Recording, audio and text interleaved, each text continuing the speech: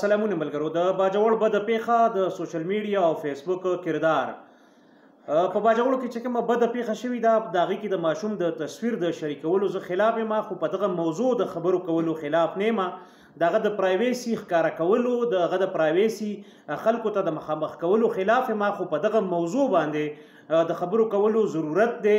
دا ډیره مهمه موضوع ده اول خو راځم دغه واقعې ته واقعه څه شوې ده باجوړ کې درې څلور پنځه الکانو یا ټینیجرز چې کوم دي هغه په دکانونو کې ناس پاسي بازارونو کې د یو غریب سړي د یو ذهني تور د یو معذور کس د وکالو بچی را ایثار کړی دی هغه دکان ته دننه کړی دی هغه کپړې لري کړی دي دغه په شرمګاه کې هغه والکنایزینګ کم ماشين چې هوا والا کوم چې په ټیرونو کې هوا اچي هغه د شرمګا په ذریعہ پاګه پرشر پمپ باندې هغه ته هوا وردن نه کړی دا هغه هوا په سپینګمو راوتلی د پخله راوتلی دا یا دا هغه وجود ته ناقابل تلافی دا صحت ته نقصان رسولې دی دا کلمو ته نقصان رسولې دی دا کوم دا سیستم چې د هیومن سیستم نو دته نقصان رسولې دي دا نه صرف اخلاقی د صحت حواله سره سماجی لوی جرم دی په دې باندې خبرې کول دا د وخت هم ضرورت دی او د دې حواله سره خلک ایجوکیټ کول او ځان ایجوکیټ کول او دا خبره ایجوکیشن دا هم دی چې زه د دې واقعیاتو نه خبر شم او کم از کم زه خپل بچي داسې پرون ونه ساتم او بل دا چې موږ ته د معاشري غ حیوانیت را مخامخ کوي دا موضوعات په دې چې کله موږ خبره کوو دا موږ یو بل ته دغه حیوانیت دغه وحشت یو بل ته ښکارا کوو چې زمونږ په دې ټولنه کې څومره جرایم کیږي څومره مونږ بدترین مخلوق یو څومره مونږ ظالمان یو څومره زمونږ د تربیت کمی دی څومره زمونږ سوشلایزیشن خراب دی یعنی زمونږ په ټولنه کې دا یو سپورت دی دا تا ځوړن کما تا دا کما تا دا کما پتا کې دا وکم پتا کې دا وکم دا مونږ عام طور کنزلو کې نه کوو مونږ دا تشدد چې کوم دی زمونږ په کورونو کې مور پلار تشدد نه کوي نه دی کړی یا مونږ غیته نه دی کتلی یا تاسو نه کوي تشدد په خپل خزو باندې یا مونږ ټول خلک په خزو بچو باندې تشدد نه کوي لګیا دي نو ماشومان دغه ته نه ګوري دا تشدد د عمل د تشدد دا ټکی دا وکم دا وکم دا وکم زما په خبره تاسو پوهیږئ دا ټول متشدد رویه دي اول په ما کې شته جذباتي کېدل غوسه کېدل متشدد رویه دا به وکم دا به وکم ستا وجود سره یا ستا شرمګا سره دا وکم کوتک راوالم ستا شرمګا کې دا کم دا کم دا ټول خبرې په دې ټولنه کې شته ستا کور والا سره دا وکم ستا خور سره دا وکم ستا لور سره دا وکم ستا پور یعنی دا او دا تشدد دی یعنی زه زه چې کله دا وېما دا خبرې تا ته په غوسه کې کوم نو کواس مې برکیږي بیا کوم هم ځکه دا سيزونه په ما کې شته د حیواني جذبه د هر انسان سره شته خو مهذب خلکو دا بیا ریګولرایز کړي دا جذبات دا جذب په دې جذباتو باندې هغه مثبت جذبات حاوی راوستي او منګه خو ځوړن کا الټه کا پانسی کا راکاګه مړ کا بس هغه نور لفظونه زما خولې نه راځي نو بیا منګه په منګ باندې دا قسم منفي جذبات چې نو زمونږ په مثبت جذبات باندې غالب دي حالانکه انسانيت چې کوم دی نو یو ښه تربيت پکار وي او دا د یوازې د یو څو کسو خبره نه ده چې د هغې په کور کې به تشدد کېده دا به عزت ټولنه په پښتنو کې په مشرقي خاص بالخصوص په دې مشرق کې یا په دې تړ وړ کې د پکورونو کې تشدد بهر تشدد د لوبي د فن نشواله د انټرټینمنت نشواله انټرټینمنت ته خلک نه پرې خو دلو زمون په لارو کوسو بازارونو کې هم دغه انټرټینمنت د لکانو لیونی راي سر کړي اول زو پسې تاسو اغي څوک کار کړي په چا باندې کانی ورويشتي خلکو پسې پښاړې کول ملنډ کول غریب سړی بل خصوص ته جمعات مخې ته د تاسو کچرته جمعاتونو مخې ته په ډبه باندې مشران وای نه یو مشران نو چې کوم د کلی د ټول نه عاجز غریب فقیر ذهني تور جسماني تور معذور کسي نو هغه د ټولو خلکو د استهزاء او د ملنډو ښکاري ولې دا نه د حقیقت نه دی څه ولې دا موږ تاسو نه نیوسه او تاسو ته دا حقیقت معلومي ما او تا میډل کلاس چې دی او پر کلاس د شکل صورت نه مراته ښکاري چې دا ماشوم دا بچي دا لکه دا جنۍ دا د پر کلاس ته یقین وکړه ګور وته نه دی یرینا خو چې کله موږ پوه شو چې دا ماشوم دا لک دا جنۍ دا سړی دا خزه د یو داسې کور سره دی تعلق دی چې هغه د اختنې پښتنې څوک نشته پلارې نشته یا معذور دی یا غریب دی یا فهج دی یا مطلب د نشئی دی نو بیا زمونږ دغه ماشوم سره سره وي یا هغه موږ څنګه ټریټ کوو تاسو چرته موږ ګورئ چې موږ زمونږ په خوا باندې کله درون غاړه تیریږي نو زمونږ بیهیویر څنګه زمونږ بیهیویرل سایکولوژي یا زمونږ ریسپانس بیهیویرل ریسپانس زمونږ رویه هغه طرف ته صحیح هغه که زمونږ ته پوسو کی نو موږ څومره په ادب باندې ودریږو څومره زر زر هغه ته خکته پورته کیږو دا ټول زمونږ د ځدانه هم څوک دی نه خو بیا مونږ که عام ملنګ سړی یو لیونی په لار تیریږي یو نشهیي په لار تیریږي بیا هغه مونږ څنګه ټریټ کوو یا د کلي یو غریب سړی مونږ څنګه ټریټ کوو دا ماشوم چې ټریټ شوی دی نو دا زمونږ د حیوانیت ښکار شوی دی زمونږ حیوانیت دا دی چې د کم چا د تپوس څوک نه نو ځکه خو په دې ټولنه کې په دې پیټریاریکل سوسایټي کې خلک مجبور دی چې لوڼو ته خفه شي ځکه هغه ته پته ده چې بیا ځوان کله نه نو بیا زموږ د خلکو دا وحشتناکې رویې هغه ته پته ده چې زما ځوان نه زما وارث نه نو زما د لونو به یعنی دا دا زه بینګ فیمینیست یا زه بینګ یو آزاد خیال انسان د دې خبرې بالکل په حق کې نه ما چې څوک د خزې په پیداوخت باندې خپه شي خو زه په دې فکر باندې په دې عقیده یم چې د دې شاته یو لوی انسټیټیوشنلایزډ غوندې هیستوري ده یو شاته وګت تاریخ دی د موږ په دې ډي ان اي کې جوړې کړې شوی خبرې دي چې هغه موږ ته وخت په وخت دا احساس راکړي چې دلته نر چې کوم دی دلته زورور دلته فزیکلی زورور کس چې دی انسان چې دی نو هغه ځان بچ کولای شي خپل خاندان بچ کولای شي خپل عزت ساتلی شي اذروایز یو کمزورې سړی نشي ساتلی فزیکلی کمزورې کمزورې هیڅوک نه نو دلته بیا موږ د زنانو په پیداوخت باندې زه هم خپکیږم که څه چې زما ویلیوز زه به ګڼم چې دا خو داسې دي خو زنانه خو هم انسان دی او ماشوم خو هم انسان دی ماشوم د مور او پلار زیات خدمت کوي خدمت دا خبرې به تیو باسو خو انساني نقطه نظر سره به وګورو خو بیا زه هم په دې عقیده یم وجه دا ده چې زه دې قسم حیوانیت ته ته هم ګورې دې قسم حیوانیت ته زه هم ګورم دې قسم لاس پوسی جوړېدو ته بیا د بچو د مور د ښځې د کور والا دې حالت ته پاتې کېدو ته بیا موږ ټول ګورو سوشلی چې دا څومره یو خراب حالت ته مونږ رسي زما نقطه دا ده چې دلته مالی تور یا کمزورې وي یا سوشل سټیټس دی لاندې وو نو ته هم خلک داسې ټریټ کوي زه دا نه یم چې د غټو خلکو بچي دي خدای مکه خدای مکه هغوی ته دې څوک لاس وروړي هغوی ته دې څوک مسټریټ کړي زه صرف یو کمپیریزن کوم که دا ماشوم لږ د داسې ویل فیملی سره وي یا نسبتا مضبوط او مټور خاندان چې موږ ته وایو یا زورور خلک ادروایز ادروایز دا چې افیشل وی پولیټیکلی لک ساوند وی یا داسې مالی تور ساوند وی یا ایجوکیشنل حساب سره ساوند وی نو هغه سره بچا دار وی کړی وی په زر کال کې هم نه مونږ بیا دومره بوزدل دومره بی غیرت چې ایون جایز اواز هم دغه په خته نشو چل کاغه ناجایز هم کې مونږ بیا د خلینه کړپ نشو راويسته خلم نوازیږي چنګ خلم نیولې چې هغه ته کنزل کې هم مونږه غفخر غنو چې پلاني سه پلاني خان پلاني ملک پلاني منسټر سه پلاني سیاستدان پلانی مشیر پلانی بیوروکرات ماته کنځل وکړو مور خور چې را لایغې قسم په خدای خلم وته چنګ نیولی نو دا زمونږ بنصیبی ده چې زمونږ په دسې یو حیواني ټولنه کې ژوند کوو اوس راځم دی چې په دې باندې بحث پکار دی کنه فیسبوکونه باندې بحث په دې موضوع پکار دی البته د تصویرانو د پرسنل کوایفو شیر کولو زه خلاف یم او دا تاسو ته وړاندې نه دوه درې کالونه نه د لس اته کالونه چې کوم ملګري ما پیژني سوشل میډیا هغوی ته وپته چې کله هم داسې واقعیات راځي نو زه لومړی خبره دا کوم چې د مظلوم پارټۍ یا مظلوم چې کوم دی دغه تصویران دي نه شیر کېږي دغه پرسنل کوایف او ډیټیل دي نه شیر کېږي حل خبره دا ده چې دا بیهیویرل ساینس دی دا یو منظمه مهذبه ټولنه غواړي دا د یو فرد د یو خاندان قصور نه دی دا مکمله آگاهی غواړي دا یو سوشل اکشن دی او دې ته به زه ته د ایکس وای زیډ زی د امر بکر ټول به کنټریبیوټ کو یعنی په دغه خاندان کې چې دا درې سلور لکانو دا چل کړی دی نو دا یوازې د دغه خاندانونو باندې کار ضروری نه دی بلکې دا په ټول په مونږ باندې کار ضروری دی مونږ ټول متشدد رویه او که په مونږ کې شته او په مونږ کې شته هم او په ما کې ډېرې په تاسو کې بیا کمې خدا به مونږ یو بل ته وریادو چې اوس دنیا بدله ده نن نه شل کاله دېرش کاله څلوېښت کاله مخکې هغه بېله دنیا وه چې خلکو به ظلمونه کول اوس مهذبه دنیا د ځناورو سره ظلم هم بد ګڼي اوس خلک لګیا دی مصنوعي غوښې جوړوي چې په ځناورو باندې ظلم بند شي یا د ځناورو ژوند وژغورلی شي اوس خلک د وایلډ لایف باره کې حساس دی اوس خلک د خپل ایکولوژي باره کې حساس دی اوس خلک د لیوینګ ارګانیزم د ژوند اغستو په یو صورت کې په حق کې نه دی د ژوند د سری حق اغستو انټل انلیس چې هغه ډیر زیات ډیمیجینګ اوس خلک اتیان مګر مچو دا سيزونه نه بلکې ماران لړمان په میوزیم او په په زوز کې یا په دغه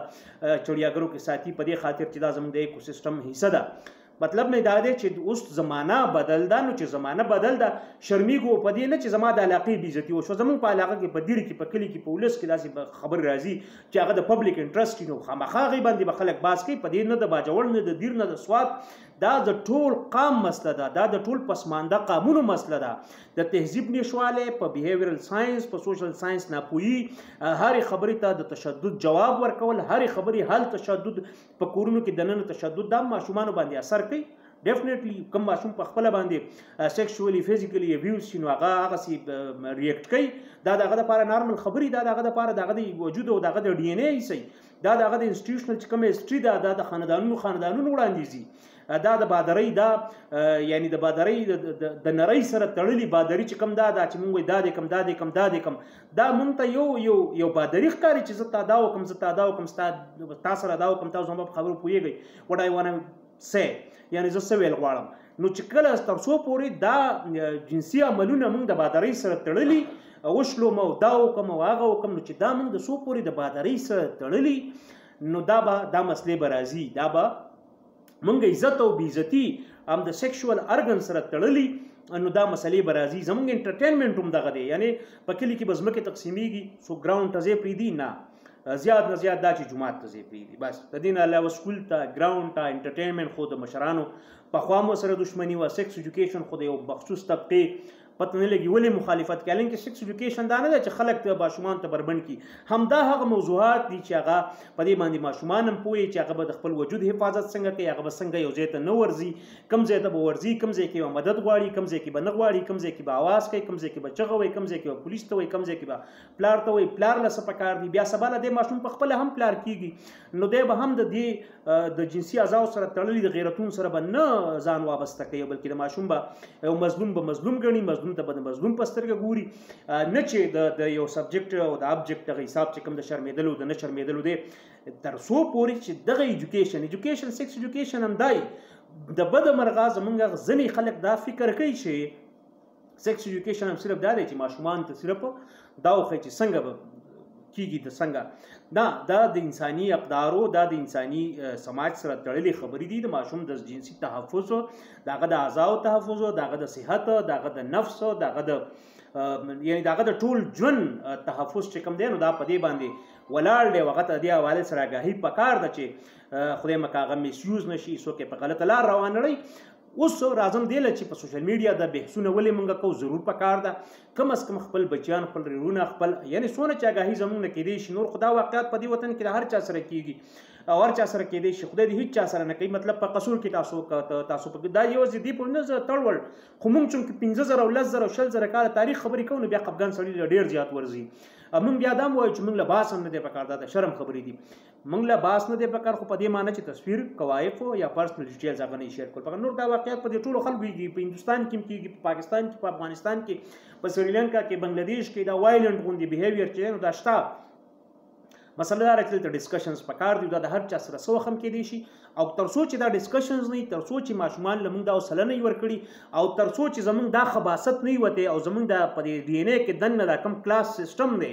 دا کلاس سیستم زمونږ د مزغونه نه تلې یعنی د بی غیرتۍ او د غیرت خو مونږ ډیر قایل یو د ننګ غیرت د 15000 لزر کالو الانکه لزر کال د بیزیم تاریخ دی مونږ د دې قایل خو ما وړاندې تاسو ته مثال په تور وی چې کم سړی پولیټیکلی سوشلی اکونومیکلی سیف ساوند دی په سیف هاندز کې دی نو داغه بچی ته لاس ورول داغه بچی ته کاګه قتل بیا زمونږ جرأت زمونږ د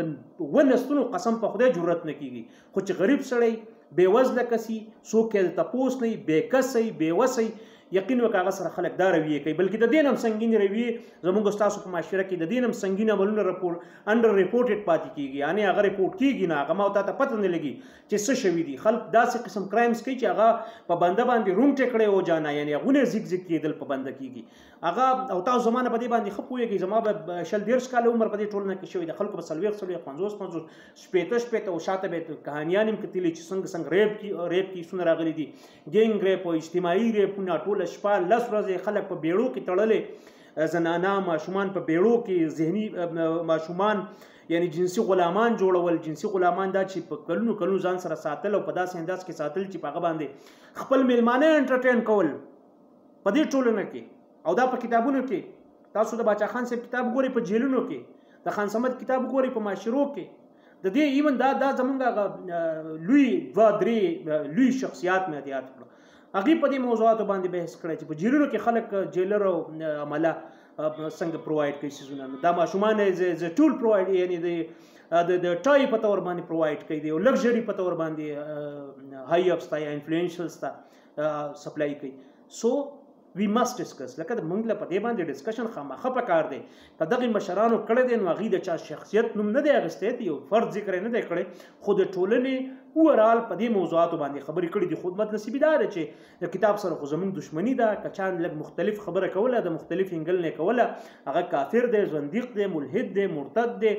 سماجی اقدارونه واقف نه دی خپل بیزتی کوي خپل پزان باندې لمن راړي لمن راړي لودي کیس خبره نشته دا د ټولنې مسایل دي دا زما او ستا مسایل دي دا زما او ستا د بچي مسایل کې دي شي لہذا په دې باندې بحث دا په سوشل میډیا ډیسکس کول دا یو بل تور یادول دی حواله سره ایجوکیشن دی حواله سره آگاهی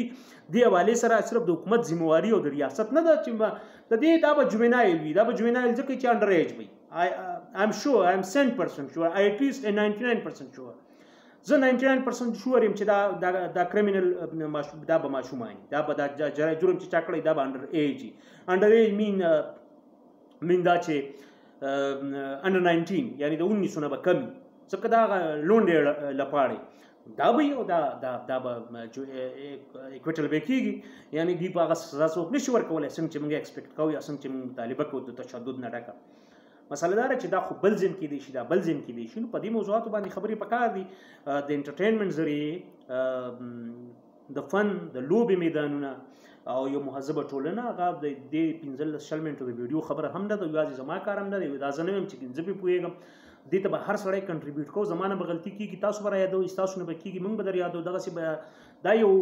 موږ په یو جال کې په یو ویب کې ژوند کوو دغه یو سره را یو د یو ځای نه را ایساریږي یعنی په دغه د یو کس نه نه ده جوړه ځکه ټولنې خبره کیږي نو دا د ټول ټول او ټولنه کنه نو د ټولو نه یعنی په ټوله کې به یو کردار ادا کوو دا د یو ورځ نیمه کارم نه دی دا د دوه ورځو دوه هفتو دوه میاشتو دوه کلونو کارم نه دی دا یو انسټیټیوشنل ما تاسو ته دا لفظ دوه درې پیر استعمال کو چې دا یو سیولایزیشن یو هیستوري وی شاته هغه بیا د ډي ان ای او بیا د تربیت او بیا د نظام تعلیم او بیا د کورنی تربیت او بیا زموږ د ټولو ادارو یې څه جوړیږي نو هغه سیس بیا ان ا لانګ رن یعنی په راتلونکي وخت کې هغه په نورو خلکو کې زموږ په راتلونکي درې څلور نسلونه وروسته به په هغه خلکو کې به ریفلیکټ کېږي هغه ښه خبرې او هغه منفي خبرې به ترې وځي نه چې سبا او بل سبا نه چې ځکه موږ شاته دومره لړل تپل کړي دي مونږ شاته د جنگ نه ډز نه ټوپک نه لوس شي پیژندل نه دی والله کرانه دا سيزونه وزي نو د خبرو د پاره تیزو خبرو د پاره بخنه غواړم شاته واقعیت هم دغه موضوع باندې بحث هم ضروری او ما کافي وګدو کو زه هغې لپاره هم بخښنه غواړم خو اوږد پکار هم دی پکار هم به وي او پکار هم و چې شوی وی خو بدنصیبي دا ده چې ما تاسو ته د دوه مشرانو د کتابونو حوالې درکړې چې په دې معاشره کې کرايمز او د ماشومانو استحصال څومره سیوا دی او دې ته زموږ پاملرنه څومره کمه ده دا دا دا د لوک لوست مسله دا کې دا د لوست سره تعلق ساتي او لوست مونږ کوو نه په کار ده چې دې اړخ ته لږه پاملرنه وکړو اجتماعي تور د ټولنې د خیر لپاره زمونږ سره اوسي کورم ودان د وخت راکول شي